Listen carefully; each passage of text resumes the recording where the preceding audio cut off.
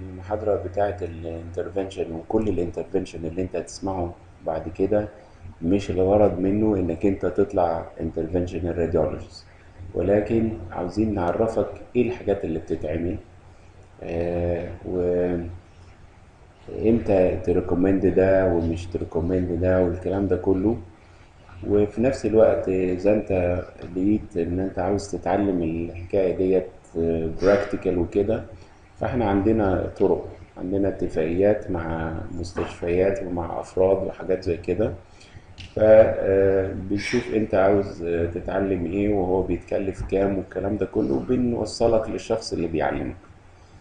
لكن المحاضرات زي ما أنتوا أكيد عارفين عمرها ما هتخليك تعرف تعمل biopsy ولا الكلام ده كله. لكن تبقى بس عندك فكرة إيه ال ال الأمور اللي إحنا شغالين فيه فأشهر حاجة طبعا بتتعمل في chest هو ال CT guided biopsy سواء من ال pulmonary lesion أو ال mediastinal masses وساعات نشفط pleural collections في أحيان معينة هقول عليها.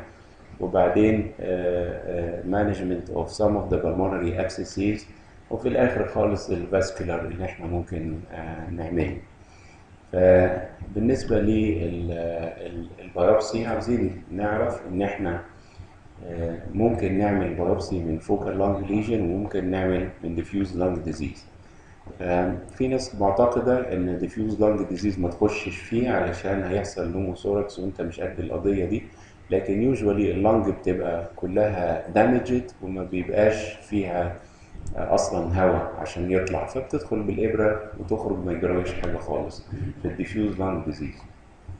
فأنا قلت لك لو إحنا بصينا على ال chest X-ray وشكينا إن في malignant nodule أو bronchogenic carcinoma mass فالخطوة اللي بعد كده لازم ولا بد هتكون biopsy نمرة واحد to confirm the diagnosis نمرة اتنين to know the cell type. أنهي bronchogenic فيهم؟ هل هي small cell large cell adeno squamous undifferentiated انت محتاج تعرف عشان دوت بيبقى reflected على ال management. في بعض الأحيان بيكون في واحد عنده primary malignancy وعنده pulmonary nodule ممكن ما تكونش impressive of deposit يعني يكون فيها calcium ويكون شكلها hamartoma مثلا يعني لكن ال clinician ما بيرضاش يقول لك لا خد منها biopsy عشان نبقى متاكدين تماما ان هي benign وان هي ملهاش دعوه بال malignancy اللي عند المريض وبعدين inflammation وال inflammation يعني في مثلا مريض دخل في المستشفى الفرنساوي في القصر العيني وهو feverish و septicemic وكل حاجة عملوا له chest X-ray لقوا pneumonia. عملوا له CT لقوا ال pneumonia برضه ادوا له antibiotics مش راضي يتحسن وعمال يتدهول يتدهول يتدهول ورا بعض. في الآخر خالص قال لك طب ناخد منه biopsy خدت منه biopsy فطلع نوع معين من ال pneumonia اسمه desquamative pneumonia. وديت محتاجة طريقة معينة في في ال management واتعدل بعد كده. فنعم إزاي يعني إيه؟ ما أنا جاي لك. أنا لسه ما عملتش حاجة خالص لحد دلوقتي. طيب. كمان آه ممكن أعمل biopsy من ال mediastinal masses آه بشرط إن أنا أكون عارف فين ال mass وفين ال vessel عشان طبعا لو أنت دخلت في ال pulmonary ولا في الاورطه بتبقى حاجة غير مستحبة بالمرة.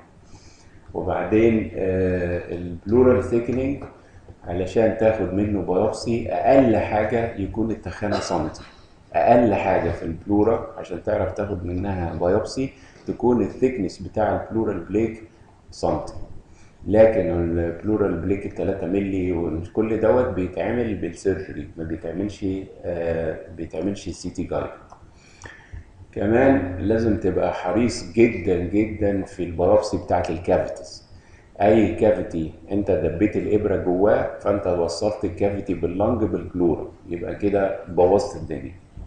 فاحنا في ال biopsies بتاعة ال cavities دايما بننشن على ال wall ودي محتاجة يعني يعني حرفنه شوية بحيث إنك أنت تاخد biopsy من ال wall ما تاخدش من ال lung اللي جنبه ولا تاخد من ال cavity اللي جنبه الناحية الثانية فدي نقطة آه، آه، مهمة جدا. إحنا آه، بنحتاج إيه علشان نعمل ال biopsy أول حاجة في ال chest بالذات يا ريت تعمل المريض ب general anesthesia. ال general anesthesia مش هي بتاعة الجراحة هي. الدكتور البنج بينيم المريض 3 4 دقائق تدخل الإبرة وتخرجها المريض لو أنت بتشتغل في ال في ال chest بالذات في ال pulmonary nodules بيكون خايف وبينهج وتلاقي مرة ال nodule لفوق ومرة ال nodule لتحت وأنت مش عارف تصيدها بالإبرة. فالأحسن تعمل له general anesthesia وده يحتاج إن هو يكون صايم الحاجة الثانية إنك أنت محتاج ال coagulation profile يعني إحنا ما بنشتغلش على prothrombin concentration أقل من 70 لأن ال 70% هو يعني المعقول. أكتر من كده ماشي أقل من كده لأ. لأ يعني ترجع المريض للدكتور يديله فيتامين K وما أعرفش إيه المهم يحسن النسبة. وال INR ما بنشتغلش على حاجة أعلى من 1.3 أكتر من واحد وثلاثة من عشرة. معنى كده ان إن في bleeding tendency وإن هيحصل pulmonary hemorrhage والمريض هيكح دم بعد ال... بعد ال... بتجيب أنت ال setup دوت. بيكون فيه تعقيم وبيكون فيه الإبرة اللي إحنا بنشتغل بيها وبيكون فيه بلاستر ومش عارف إيه. الحاجات اللي عاديه جدا اللي إحنا آه، بنشتغل بيها. بعد كده بتشوف الأفلام القديمة وتشوف ال lesion موجود فين. إذا كان ال lesion قدام يبقى المريض بينام على ظهره. لو كان ال lesion من ورا يبقى المريض بينام على وشه علشان يبقى ال approach بتاعك أقرب أقرب طريقة. طب افرض ال lesion مش قدام ولا ورا في الجنب يبقى أنت عندك حل من اتنين. تنيم العيان على ظهره وتدخل من الجنب أو تنيمه على جنبه التاني وتدخل من فوق. ودي طريقة أنا بحبها إن كل ما كنت عمود على ال lesion كل لما كان افضل بعد كده تنقي بتنعمل بتنعمل العيان على الترابيزة بتاخد مقاطع وبعدين تشوف المقطع اللي بان فيه ال lesion وبعدين تودي السرير عند المقطع اللي بان فيه ال lesion يعني المقطع دوت ليه رقم على الكمبيوتر فبتقول له روح عند الرقم ده. بيروح بتنور النور بتاع الجهاز بيعمل خط كده على جسم المريض. تروح عامل انت خط بالقلم ده المكان ال lesion اللي انت اللي انت عاوز تاخد منه ال biopsy بعد كده بتيجي على الصورة تشوف ال midline فين وبعدين تقيس من أول ال midline لحد المكان اللي أنت هتدخل منه الإبرة. كام سنتي؟ مثلا خمسة سنتي. تعمل بالمسطرة خمسة سنتي وتحط نقطة على جلد العيان. بعدين تعمل تعقيم تعمل local anesthesia وبعدين تدخل الإبرة. الإبرة اللي إحنا بندخلها في الأول بتكون إبرة ال local anesthesia بنحط الإبرة ونعمل بيها بنج موضعي. ونسيبها في مكانها ونطلع بره ناخد صورة. لو لقينا الإبرة منشنة صح على مكان ال lesion ندخل نروح شايلين الإبرة بتاعت البنج داخلين إبرة ال biopsy قبل ما نتك على إبرة ال biopsy عشان ناخد عينة لازم نعمل صورة تاني ونشوف الإبرة فعلا جوه ال lesion ولا راحت في حتة تاني. إذا كانت جوه ال lesion زي كده بنروح على طول بعد كده داخلين واخدين الإيه؟ ال- ال biopsy بتتعمل عندك في في gun biopsy gun اللي هو عامل زي كده. ما بستخدموش أنا لكن بنستخدم الإبرة العادية اللي أنا هوريها لك دلوقتي. ال guidance بتاعك لازم يكون واحد من ثلاثة يا إما سونار يا إما CT يا إما MR. ال MR لسه الإبر بتاعته مش موجودة في مصر. لكن لا يمكن يكون ال guidance بتاعك ال fluoroscopy أو الأشعة العادية بسبب إنك أنت في حاجات كتيرة قوي بتبان في الأشعة ال X-ray وتكون vessel يعني يكون في حاجة كده كرومبا جنب ال mediastinum تكون aneurysm. فلو أنت دخلت عليها بالإبرة under fluoroscopy وخدت biopsy من ال aneurysm هتبقى عارف إيه اللي هيجرى لك بعد كده. فدي نقطة في منتهى الخطورة إنك ما تاخدش biopsy خالص على fluoroscopy يعني على إيه screen تاخد ال biopsy يا إما سونار يا إما CT يا إما MR لو كانت الابر بتاعته available في حتت كتيرة قوي في حاجة اسمها fluoroscopy CT اللي هو إنك أنت بت بتدخل الابره وأنت دايس على ال switch وأنت في أوضة ال CT أصلا بيوري لك المقطع. زي كأنك بتعمل سونار بالظبط فتشوف الابره وهي داخلة. ال fluoroscopy CT لسه مش موجود في مصر. لكن آه، لو لو كان موجود بيسهل عليك قوي لأنك أنت كل خطوة من اللي إحنا بنعملهم بتخرج بره الاوضه وتاخد مقطع وبعدين ترجع وبعدين تشيل وبعدين تحط. كل الكلام دوت بياخد وقت. لكن لو انت بال fluoroscopy فتحت وشفت الإبرة داخلة فين خلاص في ثانية واحدة تكون خلصت الموضوع. في طبعا. بس دوت شجاع مش لابس مريالة رصاص. إحنا ساعتها بنلبس مريالة رصاص. طيب. الإبرة عاملة زي المقص كده اللي حضراتكم شايفينها دي فيها سوستة آه، من جوه وانت بتشد الكعب بتاعها ده فكأنك عمرت الإبرة. الإبرة دي عبارة عن حاجتين جوه بعض. واحدة منهم دي دي الحديدة اللي جوه فيها حفرة والحفرة دي الحرف بتاعها هنا عامل زي السكينة كده. فأنت علشان تاخد البيوبسي بتعمل إيه؟ بتروح شادد الإبرة كده فكأنك أنت عمرتها. الاتنين دلوقتي جوه بعض دي الخطوات. بص آدي إحنا فين يا سيدي؟ هنا اهوت آدي ال lesion اللي إحنا عاوزين ناخد منه ال biopsy وبعدين آدي السكين أنت شديت الإبرة كده بقى ال- الاتنين موجودين جوه بعض دلوقتي. خلاص؟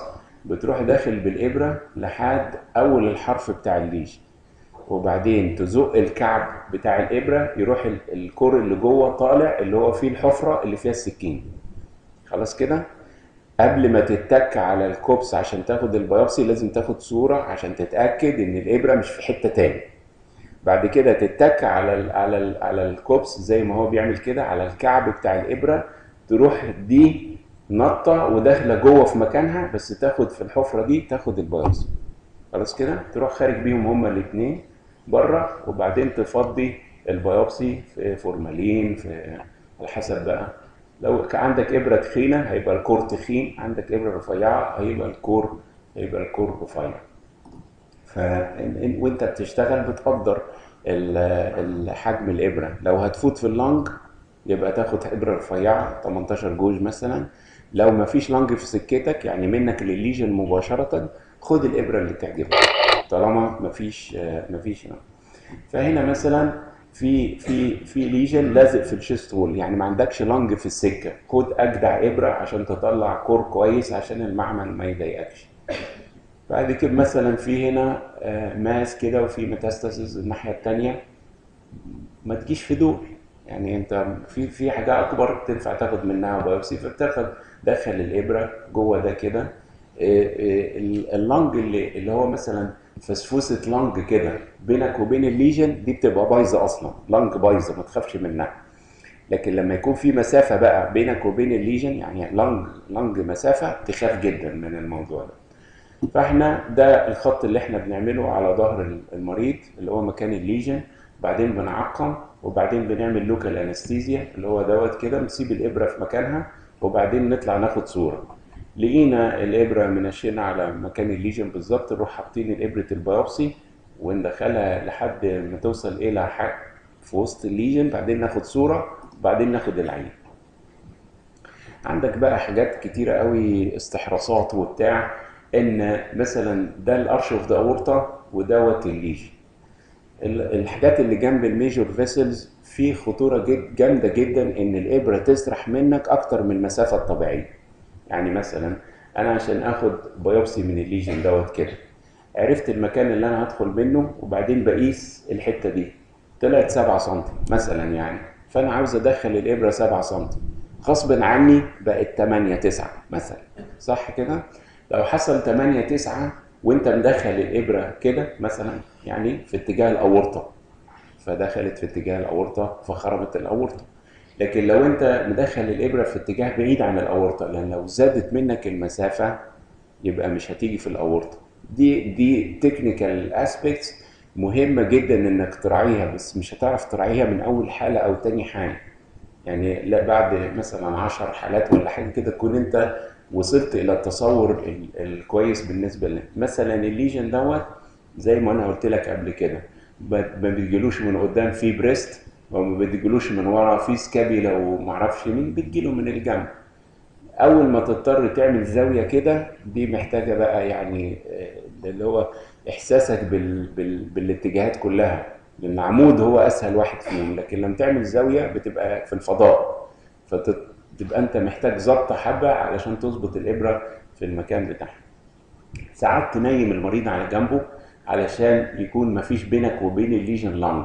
فهنا ده ال lesion وده pleural thickening وانت داخل بالإبرة على حرف ال scapula وال rib منك للل lesion على طول.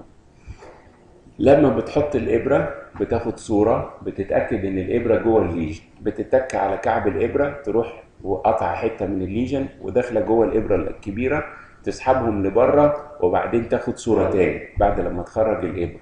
لأن لو كان في مسافة بينك وبين ال lesion هيطلع pneumothorax. وال pneumothorax زي ما أنا قلت لك كل واحد من ثلاثة هيجي له pneumothorax لكن ال pneumothorax دوت خفيف وبيمتص لوحده والمريض ما بيحسش بأي حاجة. أما ال pneumothorax اللي هو ال tension بيجي لما تمشي مسافة كبيرة قوي في ال lung أو لما تدخل أكتر من مرة أو لما يكون العيان COPD يعني يكون عنده emphysema ومش عارف مين أو يكون بيكح كتير. يعني أنا أنصحك لو لما تشتغل في السكة دي وجالك مريض ما بيبطلش كحة ما تعملوش biopsy الكحه أحد الأسباب اللي بتزود ال pneumothorax العيان دوت عنده lesion هنا اللي هو مكتوب عليه M ده. وفي radical mastectomy يعني ديت lymph node في الغالب يعني. عايزين ناخد منها biopsy طبعا دي في آخر الدنيا. فأنت عشان تخش لها هتعمل pneumothorax محترم. وبتخش بالإبرة كده لما توصل لمكان ال lesion بس خلاص مشيت مسافة جامدة جدا في ال lung فأنت معرض قوي قوي لموضوع ال pneumothorax لو كان ال coagulation profile مش مظبوط المريض هيجيله hemorrhage يعني وأنت وأنت داخل بالإبرة ما كانش فيه ال patch دي. بعد لما دخلت بالإبرة وخدت صورة لقيت في patch كده. يبقى معنى كده دوت نزيف في ال lung. نزيف يعني معناها المريض هيجيله كل ما يكح هيخرج نقطتين ثلاثة دم مع الكحه لكن النزيف دوت ما بيموتش. اللي بيموت لما لما انت مع سبق الإصرار والترصد وحطيت الإبرة في الأورطة أو ال pulmonary وشفتها في المقطع جوه ال pulmonary ومع ذلك اتكيت على الكوبس وخدت biopsy. ده بيموت. اللي هو biopsy the aorta أو biopsy of the pulmonary artery طب انت ممكن تعمل كده؟ في بعض الأحيان بيحصل كده. مش انت مش قاصد. انت افتكرت ان ده ال lesion ورحت متك ورحت مبوظ الدنيا. طيب.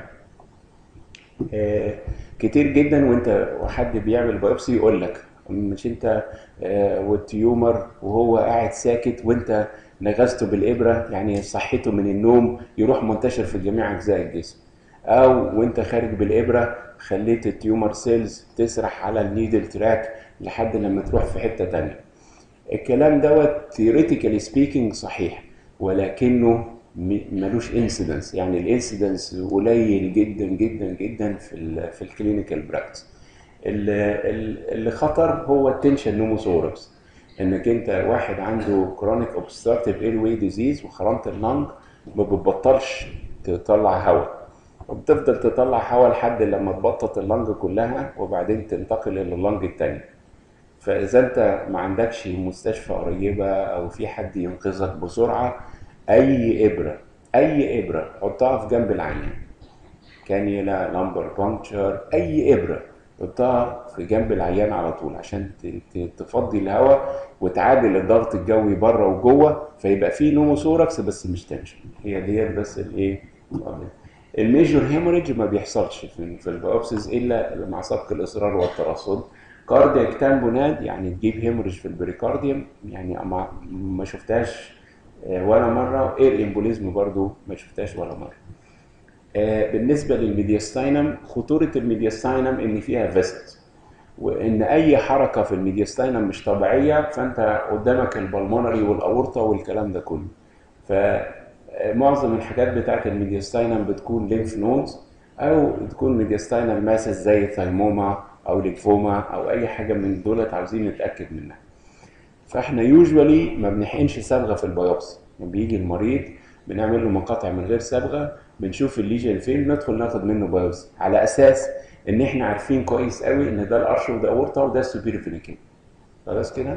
لكن إذا أنت بقى في معجنة كده mass كده كبيرة وعايم جواها ال vessel زي في الليمفوما؟ لازم تعرف ال vessel فين عشان ما تاخدش منه biopsy وبالتالي هتقدر تحقن علشان تعرف ال vessel فين واللي مش vessel فين. فدولت lymph nodes along the arch of the aorta ودي lymph node ورا ال superior vena cava ممكن تيجي جنب ال sternum كده وتاخدها بحيث إن الإبرة تكون ماشية ملهاش دعوة بال arch of the aorta في بعض الأحيان ما بيكونش فيه ممر إلا through the sternum فتضطر تخرم ال sternum بإبرة جامدة وبعدين تدخل من الإبرة الجامدة ديت إلى ال lesion أو تيجي من ال suprasternal notch وتقلب الإبرة كده عشان تنزل لتحت. وأنا ما انصحكش بديت لأنك 100% هتخرم ال arch of the aorta فأنت يعني أنت مش هتعمل أصلا biopsy من ال mediastinum إلا لما تكون يعني تقلت في ال في ال في القضية. انت تفضل شغال في اللنج في اللنج في البلورا في الشيست وول كده لحد لما الأمور تبقى جامدة معاك وبعدين تدخل في موضوع ال mediastinum ده بعض الناس بيقول لك مثلا دي lymph node خلينا نكبرها كده و أنت عاوز تدخل لها من ورا بس مش عاوز تمشي في ال lung دي طريقة أنا ما بعملهاش. هم بيقول لك تجيب شوية saline وتدخل جوه ال pleura تحقنهم. يعني ت induce hydrothorax وبعدين كأنك أنت بتبعد ال lung عن الإيه؟ عن طريقك. فتخلي ال lung تيجي لجوه شوية وانت تمشي في المية ديت وبعدين تصيب الهدف أنا ما أعرفش أعملها الحقيقة لكن من الطرق المعروفة. الناس اللي عندهم sarcoid وبتضطر انت تاخد منهم lymph node أحسن واحدة فيهم هي ال subcarina اللي هي بتكون السكة بتاعتها سهلة. فبتيجي جنب ال spine تحف كده في ال spine عشان تتأكد إن أنت في ال pleura. وبعدين توصل للل lesion تاخد منه biopsy دي دي أسلم طريقة في ال nodes بتاعت ال sarcoid أما بقى لو كان حد كبير في السن وسكة ضلمة وعنده osteophytes أو عنده ribs وبتاع فتبقى معضلة جامدة جدا بالنسبة له. نيجي لل effusion ال effusion. ال free ما تلمسوش. خلاص؟ لأنك أنت أول ما تحط إبرة في ال effusion هتدخل هواء. هتحول ال effusion إلى hydropneumothorax خلاص؟ اما ال encysted براحتك. ال encysted حاجة مقفولة هتدخل هواء هيحصل كده. اللي هو زي ما إحنا قلنا ال empyema وال encysted effusion عاوز تاخد منه sample وكده لو دخل هواء مش هيجرى حاجة لأن هو في الآخر خالص is encysted. وبالتالي لما يكون في encysted pleural effusion زي دوت كده أو empyema عشان ال enhancement فنستخدم القسطره دي. القسطره ديت عبارة عن ثلاث حاجات في بعض. ال sheath الخارجي بلاستيك وملفوف على نفسه pigtail وفي حديدة جوه وجوه الحديدة حديدة تانية. يعني في two cores فأنت لما تزق الحديد دوت يفرد ال... يفرد القسطره يخليها عاملة زي الكانيولا خلاص كده؟ بعد كده تيجي أنت بال CT أو بال ultrasound حاططها ما بين ال ribs جوه ال collection ده.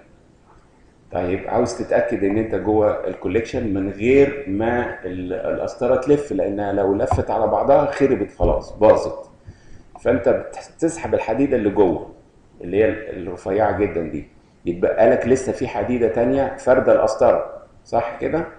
تحط سرنجة وتشفط. طلع لك صديد تعرف إن أنت موجود في المكان صح. تروح ساحب الكور التاني الحديد التاني فالقسطره تلف على نفسها وتفضل جوه. بعد كده تتحول إلى بيج تيل زي ده كده وتستنى لحد لما تفضي ال collection دي أحسن طريقة على فكرة والقساطر دي منتشرة جدا في مصر دلوقتي على عكس التكنيك العقيم جدا اللي إحنا كنا بنعمله أيام زمان. في نقطة مهمة جدا بالنسبة لل empyema قبل ما تحط فيها القسطرة السونار مهم جدا جدا عشان يقول لك فيها septations ولا لأ. لأن كتير قوي بعد لما تحط القسطرة وتجيب صديد وكل حاجة وبعدين توصلها بكيس جمع بول علشان تفضي فيه تروح مفضية لك 3 سم كده وتبطل. تفتكر إن هي تسدد تقعد تسلك فيها تسلك فيها برضو مش راضية تجيب حاجة. معنى كده إن في loculations وأنت مش شايفها بال CT واللي بيشوفها بس هو ال ultrasound ال mycetoma أو ال fungus بيموت العيان من ال hemoptysis. فأنت عاوز تموت ال fungus قبل ما يموت العيان. بتعمل إيه؟ بتجيب antifungal drug اسمه amphotericin B. وتحقنه جوه ال cavity. فلما تحقنه جوه ال cavity هيأثر شوية على ال fungus بس أنت عاوز repeated repeated repeated injection لحد لما تموت ال fungus فناس قال لك طيب أنا نجيب قسطرة رفيعة قوي زي ال epidural catheter كده وأروح حاططها جوه ال cavity عشان مش كل شوية أحقن العيان. وأحقن جوه القسطرة. اللي هي أجيب العيان مرة مرتين في اليوم احقن له ال amphotericin B دوت وحد تاني قال لك أنا هحط ال amphotericin على حاجة oily زي ال Lipiodol عشان تخلي الامتصاص بتاعه بطيء عشان يدي نتيجة أكبر في كل دي طرق معروفة. المهم إنك تموت ال fungus أهم حاجة إنك تموت ال fungus بالكامل. فيبقى يبقى لك ال cavity وهو فاضي كده من من ال fungus تبقى أنت كده خلاص أمنت العيان من إن هو يجيله hemoptysis بالنسبة لل... لل... لل abscess زي ما أنا قلت لك ال abscess لو كان لازق في ال chest wall ممكن تحط فيه قسطرة زي اللي أنا وريتها لك. لكن لو كان بعيد شوية عن ال chest wall ما تلمسوش لأنك هتفتح الخراج على ال lung على ال pleura وهتعمل مشكلة جامدة. فالأحسن لو كان ال abscess قريب قوي من ال chest wall ممكن نعمل ال empyema بنعملها على طول. عندنا طريقة في ال pleural effusion وديت أنا بعملها آه، كتير بس في عيانين مع- معروفين. واحد عنده pleural effusion وهو systemically يعني ال وعنده كذا مشكلة تانية وال effusion كاتم على نفسه وصحته ما تسمحش إن إحنا نركب له intercostal tube إيه العمل؟ بتجيب آه، آه، بتاع كانيولا بلاستيك طويلة زي ال central venous line وبعدين تحطها جوه الافيوجن وبعدين تجيب محبس اللي هو ليه ثلاث زوايا ده وتركبه على كعب الإبرة. وبعدين تركب السرنجة كبيره اللي انت هتشفط بيها المية وبعدين تفتح المحبس. تشفط المية لحد السرنجة ما تتملي بعدين تقفل المحبس عشان ما يخشش هواء لما تشيل السرنجة. تروح شايل السرنجة مفضيها وبعدين حاططها تاني. تفتح المحبس وتشفط تفتح المحبس وتشفط لحد لما آه، آه، تشفط كمية كويسة تخلي نفس المريض يتحسن.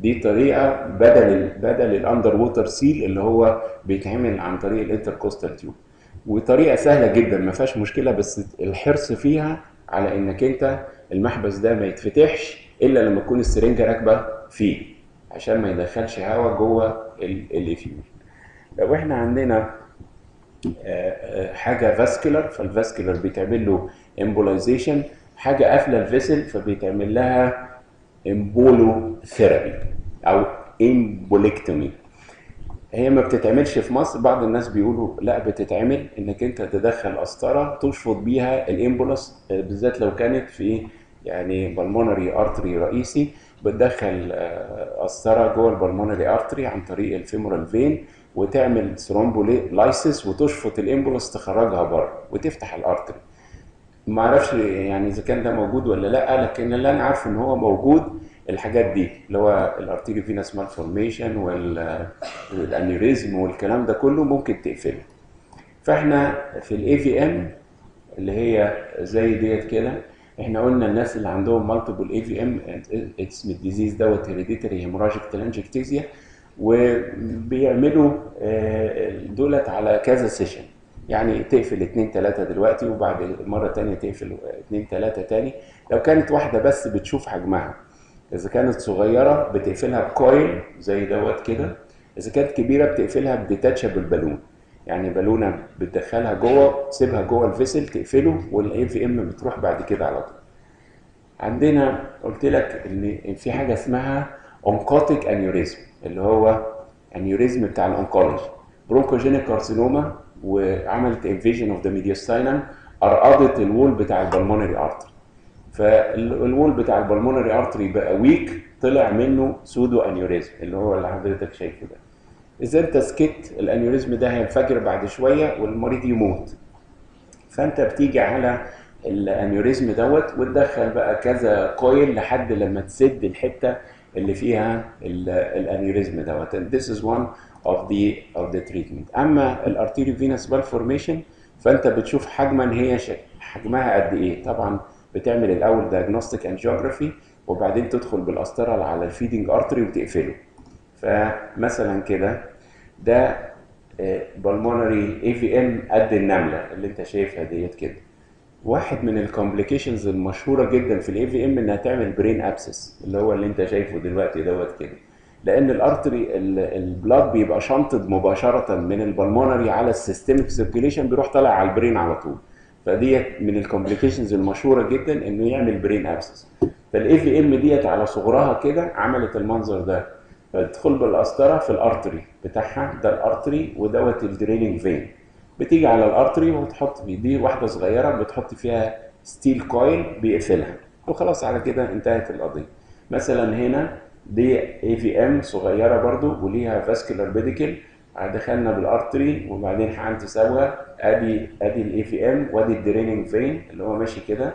دخلت في ال artery وحطيت steel coil قفلت الايه قفلت ال AVM لو كانت ال AVM كبيرة زي ديت كده فبتيجي بالبالون. تحط تحط بالونة جوه جوه ال feeding artery ده فتقفله أما لو كانت صغيرة زي اللي جنبها فبتقفلها ب steel coil لما تكون صغيرة ال coil بيجيب نتيجة لما تكون كبيرة بتحتاج حاجة كبيرة شوية عشان عشان تسدها وما ترجعش تاني.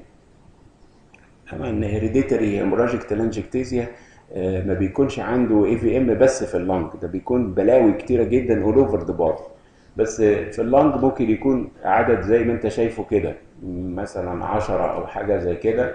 فالراجل بتاع ال intervention بيقعد يجيب المريض دوت على كذا مرة. يسد شوية لوحدهم وبعدين يعمل حبة تاني وبعدين يشتغل في شوية تاني وهكذا.